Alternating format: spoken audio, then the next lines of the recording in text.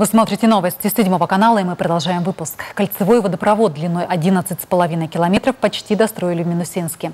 Он позволит доставлять людям качественную питьевую воду, как в новые микрорайоны, так и в историческую часть города. Сейчас там нет централизованного водоснабжения, жители пользуются привозной водой, колонками или бурят скважины. Подробности расскажет Евгений Черных.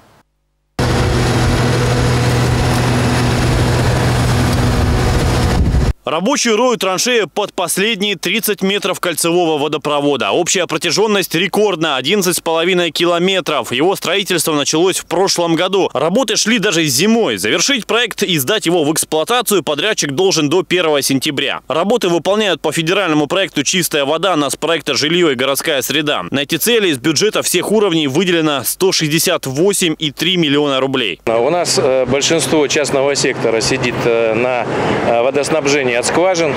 Вода не очень качественная, поэтому прокладка кольцевого водопровода и последующие работы по проектированию и э, строительству межквартальных сетей – это очень важно.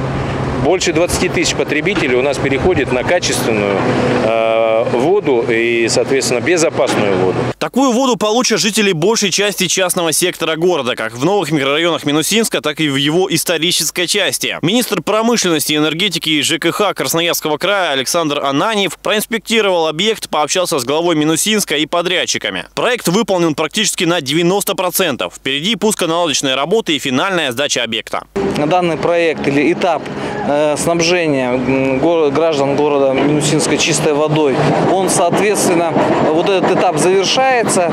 Как раз здесь, на этом месте, происходят вот э, последние метры прокладки водопровода.